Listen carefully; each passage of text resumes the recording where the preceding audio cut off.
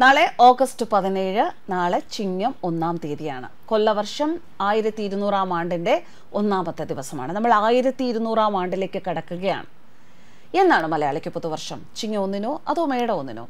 ഇത് ഒരു സംശയമായി പല മലയാളി മനസ്സിലും നിലനിൽക്കുന്ന ഒന്നാണ്. ഈ ആശയക്കുഴപ്പമില്ലാത്ത മലയാളികൾ പൊതുവെ കുറവാണ് എന്ന് തന്നെ പറയാം. നാം ആചരിച്ചു വരാറുള്ള വർഷാരംഭം ചിങ്ങമാസത്തിലെ ഒന്നാം തീയതിയാണ്. ഇത് കൊല്ലവർഷപ്രകാരമുള്ള പുതുവർഷമാണ്. ചിങ്ങമാസത്തിൽ ഓണം എന്ന സവിശേഷമായ ആഘോഷം കൂടി ഉള്ളതിനാൽ ഈ മാസത്തിന്റെ ആദ്യ ദിവസത്തെ പുതുവർഷമായി കണക്കാക്കാൻ എല്ലാ മലയാളികൾക്കും എന്നും സന്തോഷമേ ഉള്ളൂ ചിങ്ങം ഒന്നാം തീയതി കൊല്ലവർഷം ആയിരത്തി ഇരുന്നൂറാം ആണ്ടിന്റെ ഒന്നാമത്തെ ദിവസമാണ്.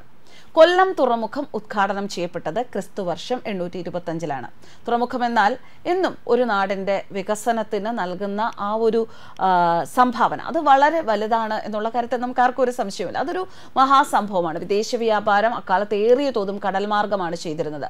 എണ്ണൂറ്റി ഇരുപത്തഞ്ച് ചിങ്ങം ഒന്നാം തീയതിയാണ് കൊല്ലത്തെ തുറമുഖം ഉദ്ഘാടനം ചെയ്യപ്പെട്ടത്. ആ സംഭവത്തിന്റെ ഓർമ്മയ്ക്കായി ഉദയമാർത്താണ്ഡവർമ്മ കൊല്ലവർഷ കലണ്ടറിന് തുടക്കമിട്ടു എന്നതാണ് ഒരു വിശ്വാസം. തുറമുഖങ്ങൾ തുടങ്ങുന്ന ദിവസം മുതൽക്ക് വർഷം കണക്കാക്കുന്ന രീതി. അക്കാലത്ത് കേരളത്തിലെ നാട്ടുരാജാക്കന്മാർ തുടർന്നു പോന്നു വന്ന ഒരു രീതിയാണ്. ഉദാഹരണത്തിന് കേരളത്തിന്റെ വടക്കോട്ട് കന്നിമാസം ഒന്നാം തീയതി തുടങ്ങുന്ന പുതുവർഷ കണക്കുകൂട്ടൽ നിലവിലുണ്ടത്രേ. ഒരുപക്ഷെ വടക്ക് പന്തലായിനി കൊല്ലത്തെ തുറമുഖം സ്ഥാപിക്കപ്പെട്ടത് കന്നിമാസത്തിലായിരിക്കാം എന്ന് ചരിത്രകാരനായ സന്തോഷ് ഇളയിടത്ത് രേഖപ്പെടുത്തിയിട്ടുണ്ട്. ഇക്കാര്യത്തിൽ അവ്യക്തത നിലനിൽക്കുന്നുണ്ട്. അതുകൊണ്ട് തന്നെ നമുക്കതൊരു ഊഹമായി മാത്രമേ കൺസിഡർ ചെയ്യാൻ സാധിക്കുകയുള്ളൂ. കേരളത്തിൽ പ്രചാരത്തിലുള്ള മറ്റൊരു വർഷാരംഭം പുതുവയ്പ് വർഷമാണ്. കൊച്ചിയിലും പരിസര പ്രദേശങ്ങളിലൊക്കെ ഈ വർഷക്കണക്ക് പ്രചാരത്തിൽ ഉണ്ടായിരുന്നതായും സന്തോഷ് ഇളയിടത്ത് പറയുന്നുണ്ട്. പുതുവയ്പ് വർഷം രേഖപ്പെടുത്തിയ ചില പ്രാചീന രേഖകൾ ലഭ്യമാണത്രേ. ഇതിൽ നിന്ന് മനസ്സിലാക്കാൻ സാധിക്കുന്നത് കൊച്ചി തുറമുഖം തുടങ്ങിയ വർഷമാണ് പുതുവയ്പ് ഇറ എന്ന പേരിൽ അറിയപ്പെടുന്നത് എന്ന് സന്തോഷ് വിശദീകരിക്കുന്നു.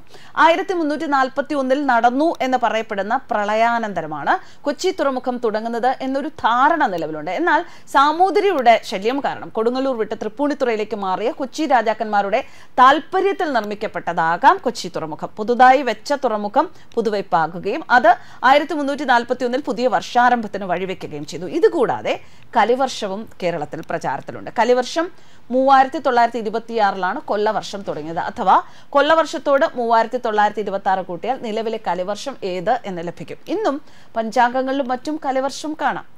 ശങ്കരാചാര്യരുമായി ബന്ധപ്പെട്ടും കൊല്ലവർഷത്തിന്റെ തുടക്കം പറയപ്പെടുന്നുണ്ട്. കൊല്ലം നഗരം സ്ഥാപിതമായതിന്റെ ഓർമ്മയ്ക്കായി ആരംഭിച്ചതാണ് കൊല്ലവർഷം എന്നും നിലവിൽ വിശ്വാസമുണ്ട്. കൊല്ലം തോന്ത്രി എന്ന രേഖകളിൽ കാണുന്നത് അതുകൊണ്ടാണ്. അത്ര കൊല്ലം നഗരം സ്ഥാപിച്ചതിന് ശേഷം എന്നാണ് ആ പ്രയോഗത്തിന് അർത്ഥം. എന്നാൽ ചരിത്ര രേഖകൾ വെച്ച് പരിശോധിക്കുമ്പോൾ ഈ വാദങ്ങളിലൊക്കെ പല പൊരുത്തക്കേടുകൾ ഉണ്ട് എന്നും പണ്ഡിതർ അഭിപ്രായപ്പെടുന്നു.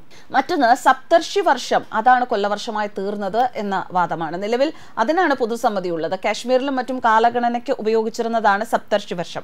ഇത് ആര്യന്മാർ വഴി കേരളത്തിലേക്ക് വന്നു എന്നാണ് കരുതുന്നത്. ഓരോ നൂറ് വർഷം കഴിയുമ്പോഴും ഒന്ന് എന്ന് എണ്ണി തുടങ്ങുന്നതാണ് ഈ വർഷത്തിന്റെ രീതി. ഇങ്ങനെ ഒരു ആവൃത്തി ഇതിനെ ഒരു ആവൃത്തി എന്നാണ് പറയുക.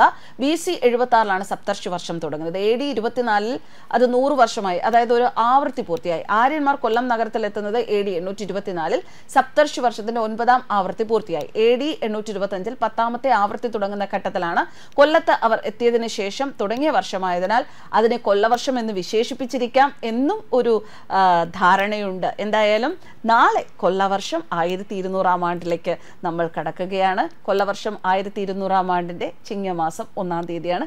എല്ലാവരും വളരെ നന്നായി ചിങ്ങമാസത്തിന്റെ തുടക്കം എല്ലാ മലയാളികളും ചിങ്ങമാസത്തിന്റെ തുടക്കം വളരെ ശുഭമായി തുടങ്ങാൻ ശ്രമിക്കുക.